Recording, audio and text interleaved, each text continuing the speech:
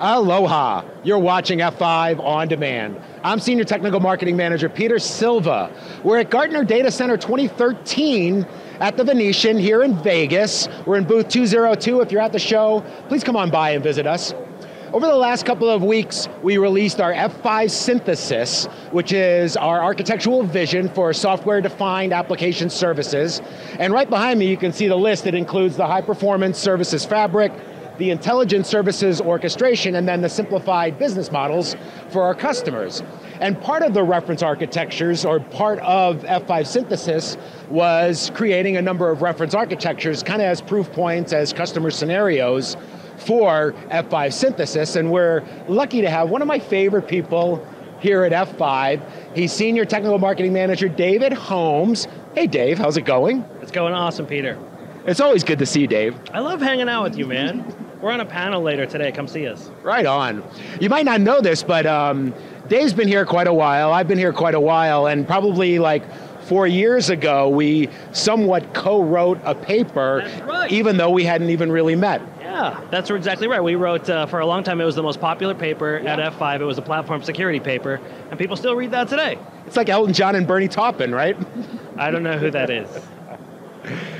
So David actually put together a denial of service, the distributed a DDoS reference architecture, and I thought it'd be great to get Dave on camera to talk a little bit about DDoS, since we get it, we see it in the media a lot these days, and maybe talk a little bit about how the DDoS reference architecture addresses some of those concerns that organizations have out there pertaining to these type of attacks. So First, you've been around the world talking to a number of customers.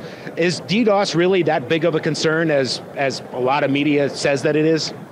You know, it is and it isn't. And I, have been around the world two or three times or seven times, I don't even remember, talking specifically just about DDoS uh, with mostly global financials. And they're happy to tell me when they've been DDoS. You know, we had an attack last week or we had an attack last Tuesday or, or a year ago. People don't necessarily compile statistics about who, who it's happening to and all the time. Does that make sense? But it is a real problem, and everybody's really interested in it right now because it represents it represents the, the shutting down of their business, right? Yeah. It's not just an outage anymore, you're losing money. So it's, it's definitely top of mind for everybody that I talk to. And so what are some of the most common types of denial of service or distributed denial of service attacks? Because it can mean a whole slew of things. I mean, essentially just having the site not available for one, but what are some of the, some of the techniques or methods used to then generate a denial of service attack? Sure, we break it down into two, I would say there's two main categories, right? There's volumetric, which is really just sending more traffic than the, the ingress pipe can handle. Like I say, it's like imagine a doorway and you try to have 100 people going through the door at the same time, right? It's just not going to work out. Right. And then there's more sophisticated asymmetric or application layer attacks, which are being smart about you know turning a knob or chewing up a, a sending in a really difficult database query over and over and over again, maybe 100 times a second, and then taking down the database uh, in that way. And that's usually where F5 gets involved, is in these sort of more difficult to understand uh, attacks, which may or may not be over SSL, which your typical firewall won't handle. And so, and so as we keep handing the microphone back and forth to each other, which is cool, uh, how, are, how are companies dealing with this today? Like say if they have no F5 devices, how do they then deal with such, such attacks? Well, often they don't, which is why they're coming to talk to me.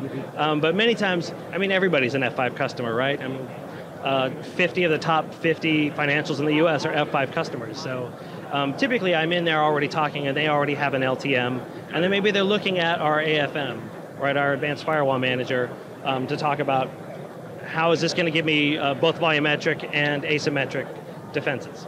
And so we have a diagram up. Why don't we take a step over? Oh. Before I, before I, I did want to mention the importance of this reference architecture. Right? Okay. So I would go to all these customers biggest banks in the world, and I go in and I do my little story, and they would love it, and they'd say, David, I really like you know what you're saying about DDoS. Could you please leave us with a reference architecture? And we didn't have one for forever. So when when the, the push for F5 synthesis came around to actually document the reference architecture, which I had in my head right. from talking to all these different banks, and I know what they're doing and how they're building and what they want to build, it was a great opportunity to get the stuff down on paper, and I, I can't believe how well it's been received. And they have been, it's been great actually. Yeah, so let's go take a look at it. Like a Today Show segment, we're going to move over to the monitor area. so, so walk us through this and tell us a little bit how the Big IP handles such type of attacks. Sure, it's not just a big IP, it's actually an architecture, right? It's a reference architecture. So Yep. in this picture, and I hope you can see it pretty well, it's a two-tier DDoS mitigation architecture. There's a first tier here, which is a um, like your typical firewall with a simple load balancing and maybe your DNS. And this is a, a DDoS mitigation architecture for a global financial services, right? So you're, you have a first tier here, this is your typical security perimeter, and this is where you'd be mitigating your, your layer three, layer four attacks. And we'll have some customers that say, well, I want to do some layer stuff here, Right. or layer seven stuff here, and we'll say, no, no, no, don't do that there. Do all the layer seven stuff at tier two. Now the reason this is important is when I go into a customer who has a really crack um, uh, security team, one of the first things they'll say is we worry about CPU around uh, how much CPU the layer 7 uh, denial of service stuff requires. Right. And we really, we're not comfortable with how that seems to go up and down depending on what the attacks are. The beauty of the two-tier mitigation architecture is that by, have, by putting all of that in tier 2, you can scale it completely independently of tier 1. So let's say you've, you've provisioned and sized your tier 1 just right, and it's good for the next two years but you're not comfortable with the, CP, with the CPU load at tier two, uh, maybe you've done like an acquisition or your security policy is suddenly bigger, um, or your number of pages keep growing, you can simply add more and more CPU, more and more compute, more and more WAF here at tier two, right? And so then one discussion that always comes up with customers, especially the financials, is, well, where do I terminate SSL? The financials terminate it here at tier two, almost exclusively, except for one out of a hundred who says, well, we do it here, and you can do it here, um, and that's part of the reference architecture is that that works. For enterprises, it's like 50-50. They'll, they'll do SSL termination here because that's what the F5 is good at, um, and then they maybe send it to um, an IDS or an IPS over here, uh, and then maybe re-encrypt back here. So this is the reference architecture, and there's a white paper you can get from the F5 synthesis site uh, that describes exactly everything I told you and more. And so I would imagine the other thing that it does by, by you know, kind of doing the you know layer two through four stuff here in front and layer seven stuff back. If you put everything in front, now it's dealing with both like two through seven versus you know cleaning some of the stuff at this point so that when the layer seven stuff hits the back end, it's even less intense. I would imagine. Yeah, that's definitely a use case. For example, there's uh, lots of small, medium business companies out there who are not, by no stretch of the imagination, are they going to have like a two-tier DDoS mitigation Right. architecture. They just want one box, and they want non-standard pricing, and they would like it, you know, in a consolidated thing. And for them, uh, that's part of the reference architecture too. We'll consolidate it down and help them size it um, to put it all in a single device. But for the larger architectures, this is what they're building, or this is what they want to build. And so the other thing is obviously denial of service attacks is, is a massive, you know, flood of traffic, whatever that traffic might be. How do our boxes hold up under that heavy load? Kind of a nice softball setup question for you, huh, Dave? That that is a nice softball. The uh, uh, the 5,000, 7,000, uh, and ele- 10,000, and the Viprion platforms all have custom hardware inside them that do nothing but look for DDoS vectors and then mitigate them.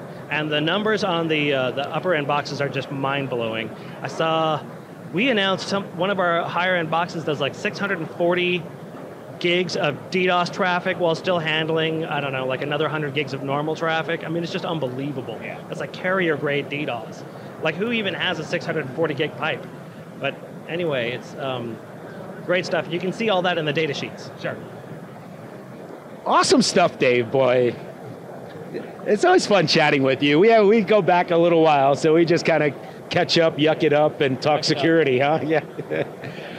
Great stuff. So a little bit more about our distributed or DDoS, distributed denial of service uh, reference architecture from one of the security gurus here at F5, Dave Holmes. You can also follow him at on Twitter with At dholmes F5. Right on. So for Dave, and I got Courtney behind the lens. Thank you, Courtney. I'm Peter, and we're with F5 Networks. Thanks for watching.